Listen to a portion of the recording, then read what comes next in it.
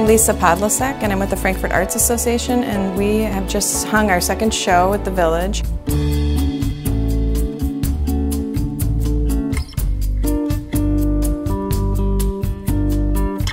It's called Into the Light.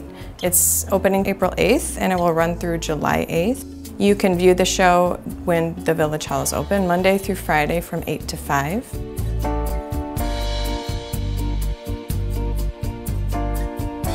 All of the artists are Frankfort residents. We have members from all over the area, but for this show in particular, they're all residents of Frankfort.